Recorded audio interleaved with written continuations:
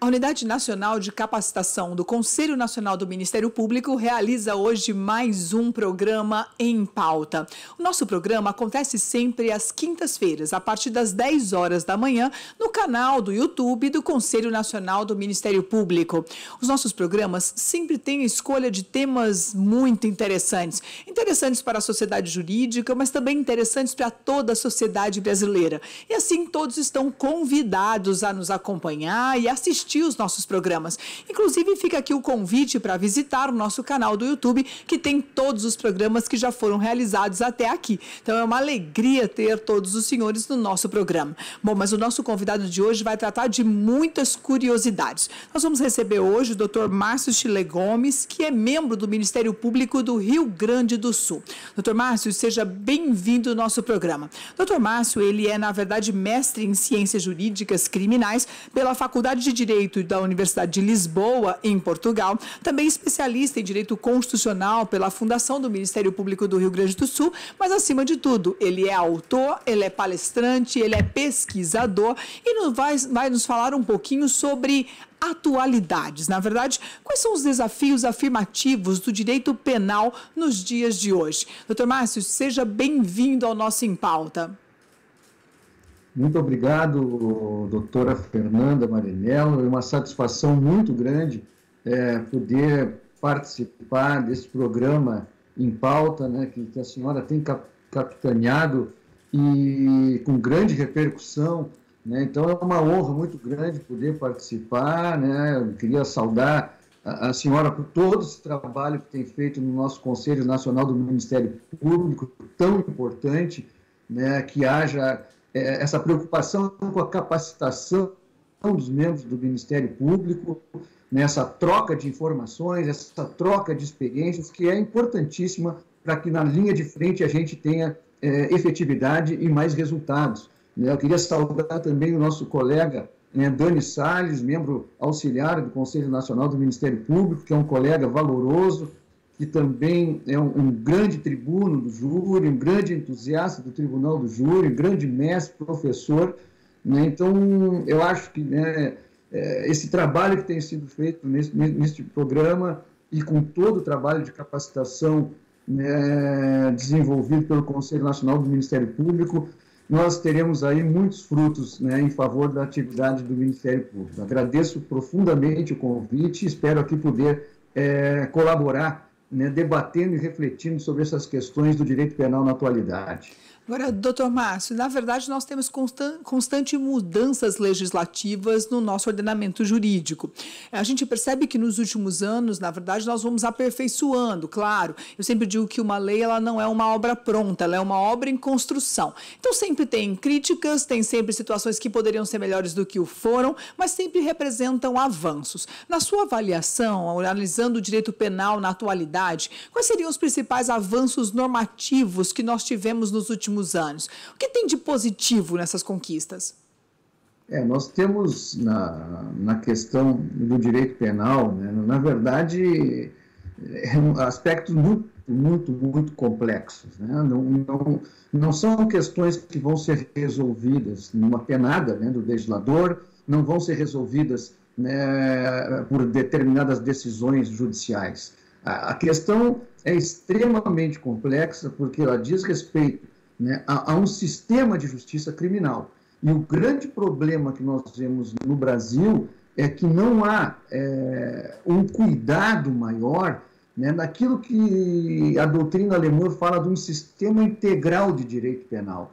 Um sistema integral de direito penal nada mais é do que haver preocupação né, do direito, com o direito penal, com o processo penal e, claro, com a política criminal. Na política criminal, também né, fundamentada, às vezes, e baseada nas questões é, da sociologia, da questão da própria criminologia, que vai trazer luz para que haja uma legislação adequada à realidade. O que nos preocupa, né, e nós vimos isso agora no pacote anticrime, né, que foi tão badalado e tão é, prometido para é, resolver certas questões, mas que nós sabemos que não é, não é assim. Não adianta se colocar penas mais severas, é, incriminar é, é, outras condutas, se, de outro lado, né, o, o processo penal ele, ele funciona como um espartilho, né, que aperta de tal maneira o Estado que ele não tem a condição né, de que aquilo que se promete com o direito penal, que é a defesa social pela aplicação da norma, né, pela aplicação da punição, da sanção, né, a partir do momento que há aquela conduta que violou né, a, a lei penal, ocorre que se o Estado não tem a condição para efetivamente né, aplicar aquilo, ou seja, o processo ele deixa de ser um instrumento eficaz, um instrumento efetivo, nós aí acabamos gerando mais aquela concepção de impunidade. Né? E isso é muito ruim, né? porque acaba que se faz aquele, vamos dizer assim, uma lógica demagógica, né? No, com, a, com a concepção de que as coisas vão ser resolvidas com uma nova legislação ou com o um aumento dessas penas, só que de outra maneira nós vemos, né, é, o exemplo do pacote anticrime está aí, né, aumentou-se a, a, pena é, vamos dizer, a pena máxima para 40 anos né, de cumprimento de pena, que era algo que já, a sociedade brasileira já, já, vinha cobrando há muitos anos, né, só que de outro, de, outra, de outro lado, nós temos um sistema progressivo de pena que foi é, extremamente criticado há muitos anos, né, da questão do sistema progressivo, porque o regime semiaberto, o regime aberto, eles não têm é, dado a resposta que se espera em termos de política criminal e que se vê o quê? Um sistema progressivo no pacote anticrime prestigiado e com mais ainda 20%, 25%, 30% de cumprimento de pena. E, então, assim, se investiu de novo nesse, nessa política criminal de um sistema progressivo, quando os outros países nós sabemos que não adotam esse sistema, né? e, ao contrário, adota um cumprimento maior de pena com a possibilidade posterior de um livramento condicional, que aí sim o sujeito ele vai para, para, para, para a sua liberdade, mas uma liberdade né, condicionada a diversas né, circunstâncias em que ele deve atender para em seguida então ter o fim dessa pena, vai ser apenas controlado pelo Estado. Isso, isso é fundamental. Só que isso tem que ser pensado nesse sistema de que os doutrinadores é, como Georg Freund, como Jürgen Welter, né, que pensa no sentido de que isso não pode, né, o direito penal ele tem que ser pensado como um todo, ele tem que ser pensado como um todo, senão acaba-se nesse grande problema que aí entram questões é, às vezes ideológicas, né, acaba-se puxando para um lado né, aqueles que querem um maior rigor do direito penal e de outro lado aqueles que querem um maior rigor num processo penal extremamente garantista, como é inclusive aquela possibilidade de um juiz de garantias, que hoje está na legislação, mas está naquela circunstância é, de uma suspensão pelo Poder Judiciário. Só que, veja bem, né, o Brasil não teria condição de implementar. Nós sabemos que quem trabalha né, com, com, com direito criminal sabe da impossibilidade né, de se adotar um sistema com juiz de garantias no Brasil, nesse país continental que é.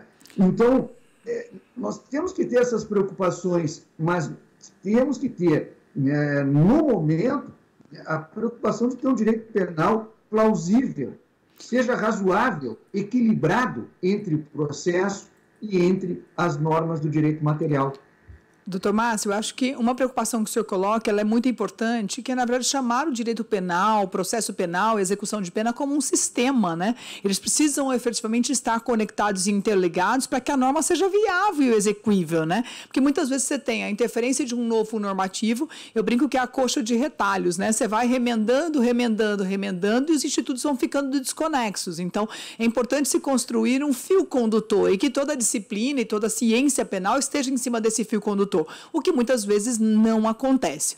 E há uma outra preocupação: não adianta eu ter uma norma se eu não tenho estrutura para efetivá-la. De que vale eu modernizar a lei se eu não modernizo o próprio Estado, se eu não modernizo a própria estrutura estatal? Então o processo se torna também com resultados ineficientes a partir do momento que eu não tenho as ferramentas para efetivar. Eu acho que essa é uma preocupação. Eu acho que, na verdade, o próprio juiz de garantias ele traz essa preocupação. Se eu não modificar o Estado como estrutura, eu não tenho como efetivar essa garantia? A própria responsabilidade do Ministério Público com relação à condução da prova, a produção da prova, a guarda dessa prova, quer dizer, são várias preocupações que surgem a partir da modernização do pacote anticrime, que traz como necessidade do Estado, então, utilizar-se de ferramentas para se modernizar. Acho que isso é indispensável.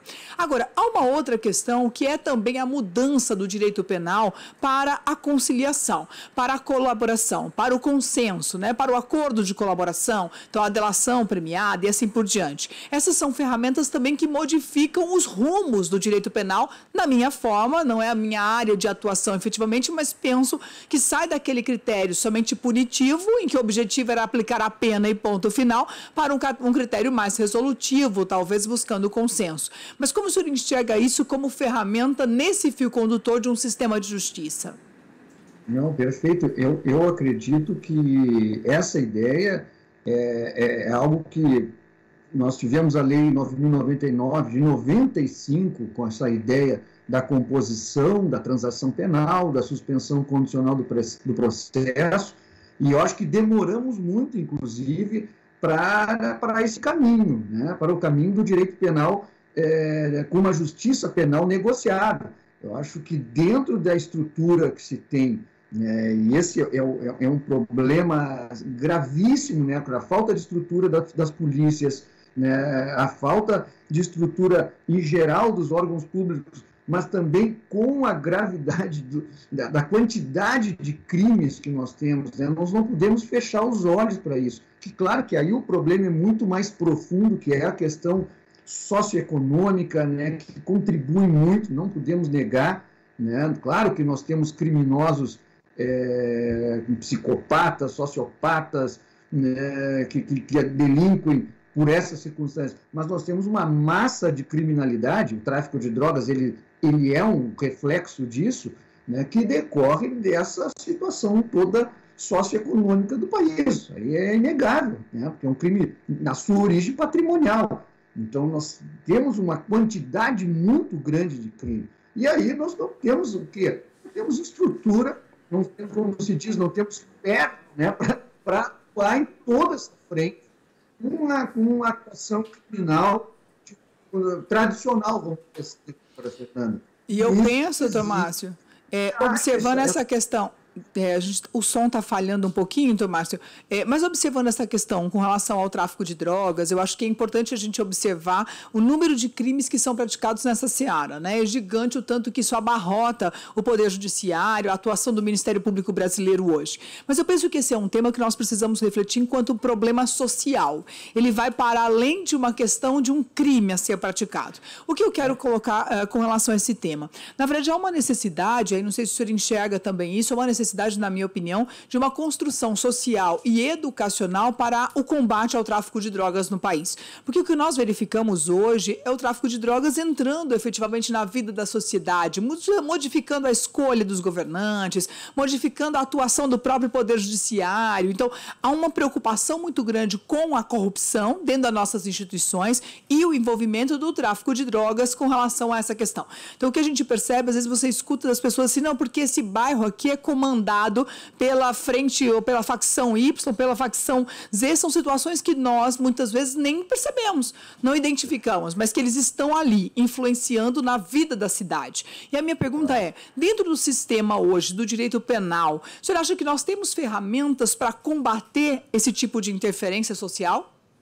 Não, é, é, é, muito também deixa, é muito aquém, né, vamos dizer assim. É muito aquém porque em razão de toda essa problemática né, que gera essa enorme criminalidade, e aí nós temos em vários níveis, né, um, um pequeno tráfico, um médio e um tráfico, claro, que é comandado por criminosos, com facções criminosas, por líderes né, que decidem sobre a vida e a morte das pessoas, nós temos que ter mecanismos, e na verdade esses mecanismos não funcionam nem na questão da inclusão social, no ponto que, que a senhora falava sobre a questão da educação, na questão da inclusão das pessoas, né, de ter uma vida em que o Estado né, atue e, e, e, consiga trazer essas pessoas para que hajam né, dentro daquele seu da, da, da, tranquilidade da vida, né? E isso não acontece. De outro lado, o direito penal, nós sabemos, né, o direito penal ele tem que ser de intervenção mínima. O direito penal não pode resolver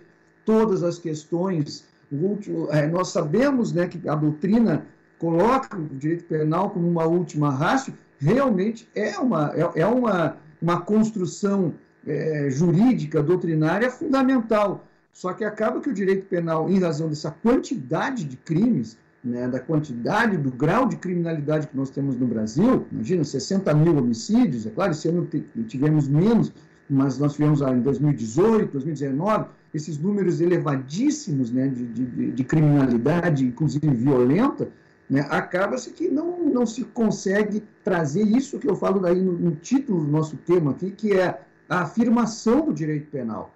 Né, a afirmação do direito penal. A afirmação do direito penal, ela se dá a partir de que o cidadão que, que saiba né, de que, se praticado um delito, vai haver a, a, a, punição por aquele crime, e isso gerar, né, isso geraria né, uma concepção, uma ideia né, de que, olha, há validade da norma jurídica naquele sistema. E isso nós vemos em outros países, né, na Alemanha, em Portugal, né, nos, no próprio Estados Unidos, que embora tenha criminalidade, mas em níveis né, que, que, que são aceitáveis, vamos dizer assim.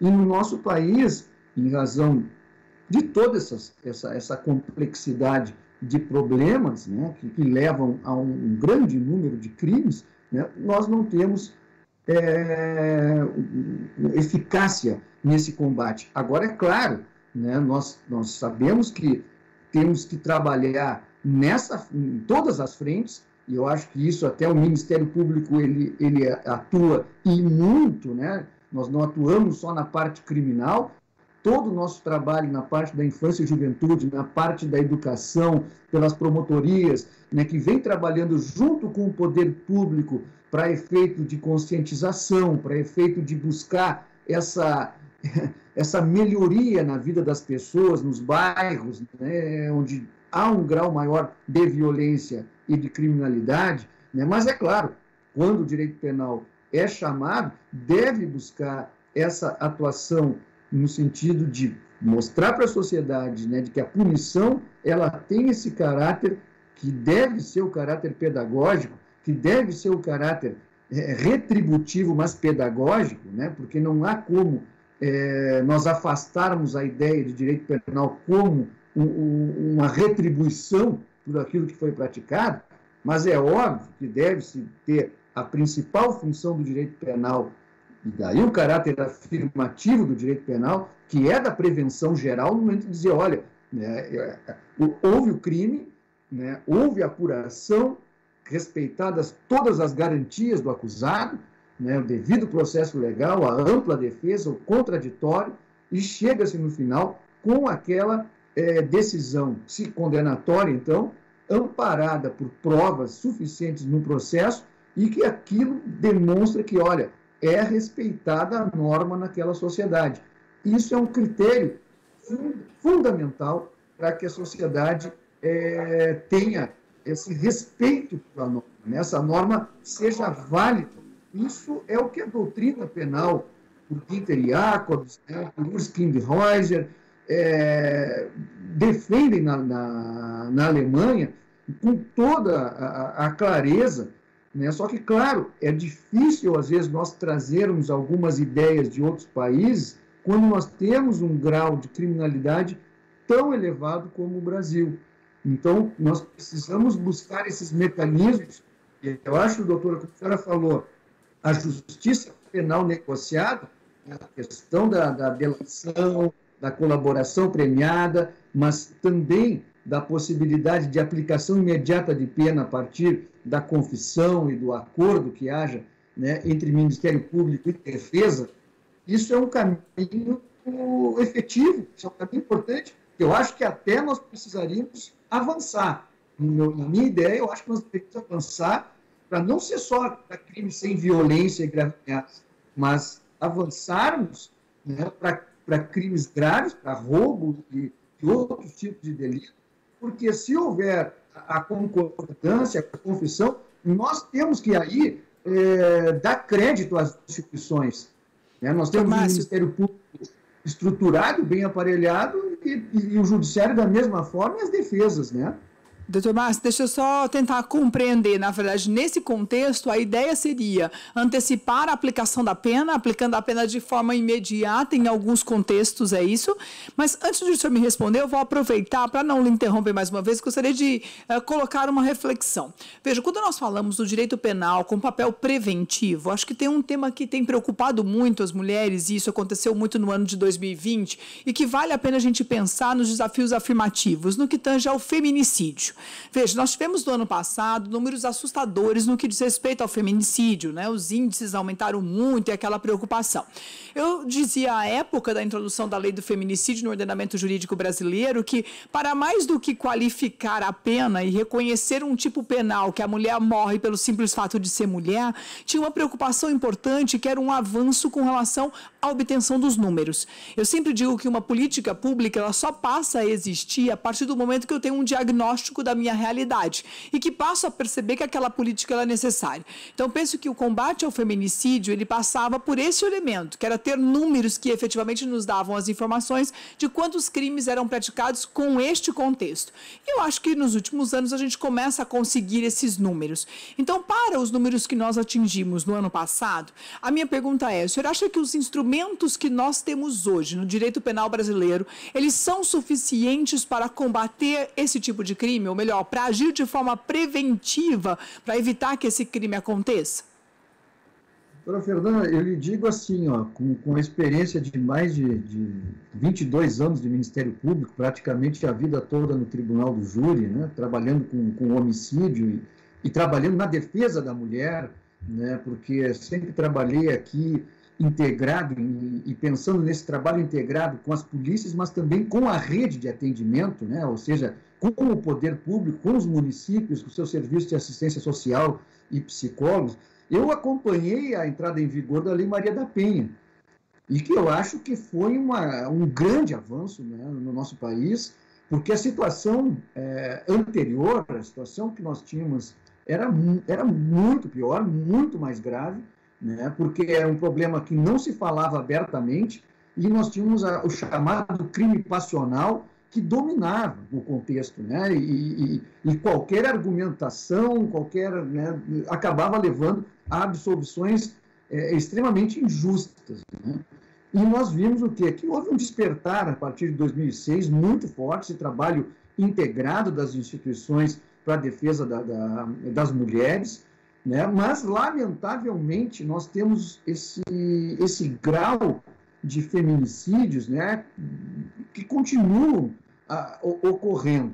E eu só vejo né, que nós temos um caminho a longo prazo, que é desde a escola, desde a formação, desde dentro de casa, para as crianças, para que se tenha né, uma, mudar essa cultura né, machista que, que, que existe, né, nós não podemos negar, e de outro lado, o Estado está devidamente aparelhado. Né? Nós vemos aí a Patrulha Maria da Penha, um atendimento especializado para a mulher, isso é muito importante, as delegacias da mulher, e também o trabalho né, da parte do Ministério Público e do Poder Judiciário com os seus juizados da violência doméstica, para que não se chegue né, nessa dramática situação que são os homicídios de mulher, que são os crimes praticados contra a mulher. O que, que nós vemos? Né? A punição maior, com a qualificadora, né, com, a, com a circunstância do crime de feminicídio, ou seja, com a,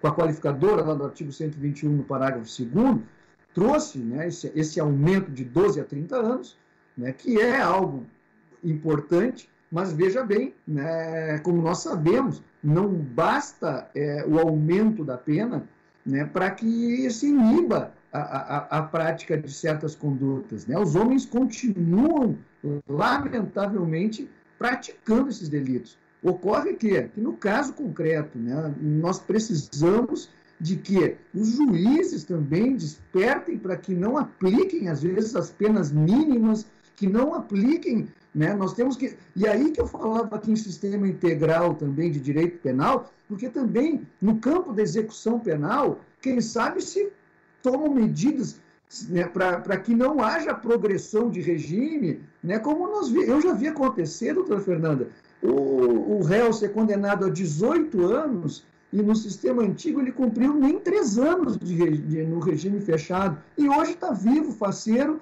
é, inclusive é advogado, e matou a sua ex-mulher pelo fato simples que ela não queria mais viver com ele, com cinco tiros na cabeça em plena via pública.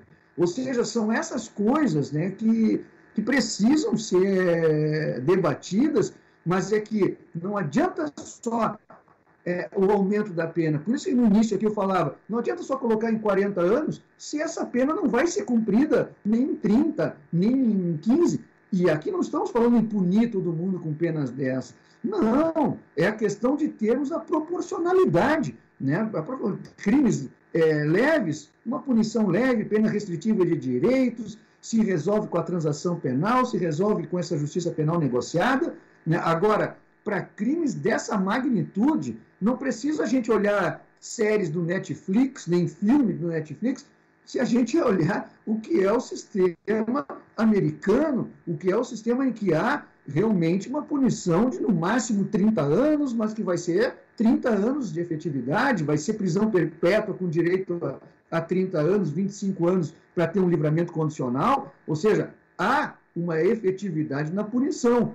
E isso se passa para a comunidade. Isso é, isso se passa para uma sociedade. Só que a cultura que se tem no Brasil é essa. Ah, o sujeito ele é punido no tribunal do júri e, a, e na verdade, todo mundo, todas as pessoas falam, né? não, mas ele vai cumprir meia dúzia de anos, ele não vai ficar nem dois, três, quatro, cinco anos.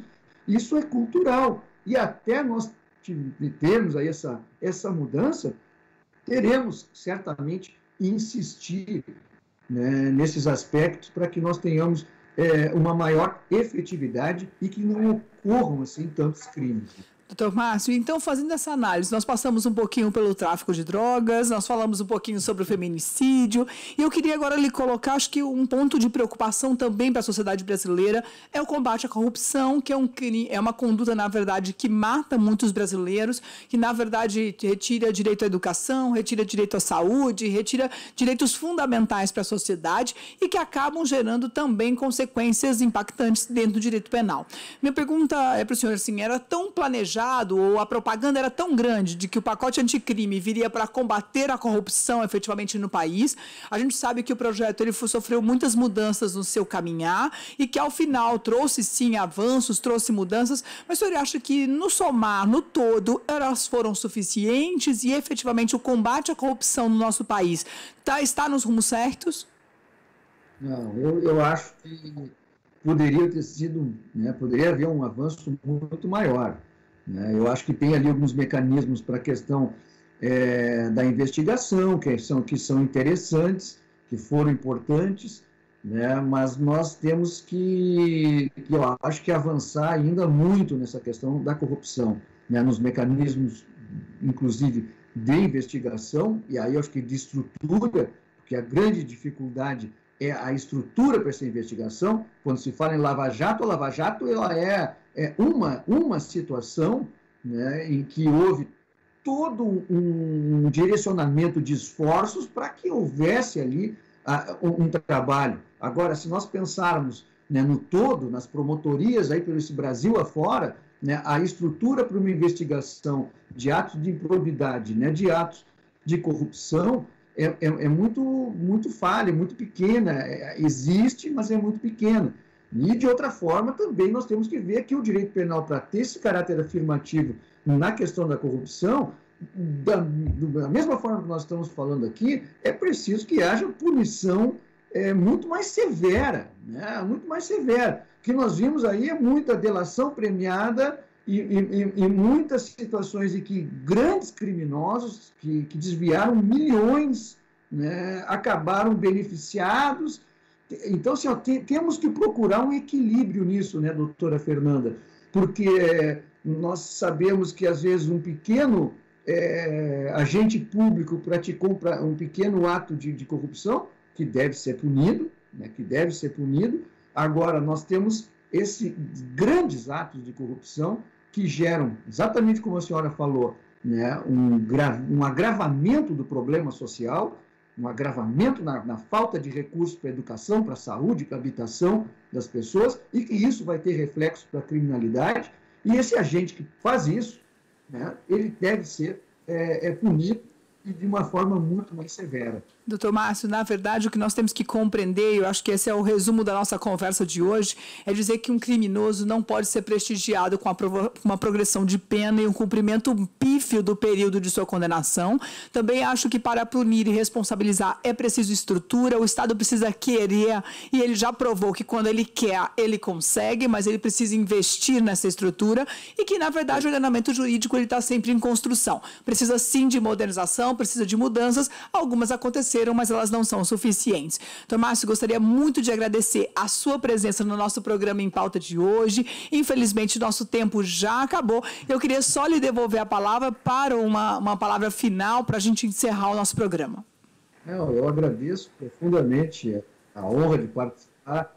Eu, eu tive em 2010, 2011, como membro auxiliar do Conselho Nacional do Ministério Público, a conselheira Thais Ferraz, que foi uma honra muito grande de pensar uh, o combate né, ao homicídio, né, e acho que a ENASP foi algo muito positivo para essa circunstância. Então, foi um prazer, doutora Fernanda, uma honra esse convite, né, poder novamente aqui poder falar no Conselho Nacional do Ministério Público, desejando aí muito sucesso à senhora, ao colega Dani Salles e a todos os membros do nosso Ministério Público que estão aí é, trabalhando forte sempre né, para a garantia dos direitos fundamentais das pessoas e o combate à criminalidade. Muito obrigado aí pela oportunidade. Né, um abraço a todos. Bom, mais uma vez, doutor Márcio, gostaria de agradecer a sua presença no nosso programa Em Pauta de hoje, agradecendo também a todos aqueles que atuam na Unidade Nacional de Capacitação e que permitem a realização desse nosso encontro, agradecendo, portanto, a Aline, a Olgo, Vladimir, aos nossos membros auxiliares, Dani Salles e Larissa. Gostaria também de agradecer a toda a equipe do Conselho Nacional do Ministério Público que, atua, que atuam para que o nosso programa, para que a atuação do, da Unidade Nacional aconteça. Muito obrigada à equipe de TI, assessoria de comunicação e todos aqueles que nos ajudam nesse trabalho. Muito obrigada a todos que nos acompanham e até o nosso próximo programa em pauta. Até mais.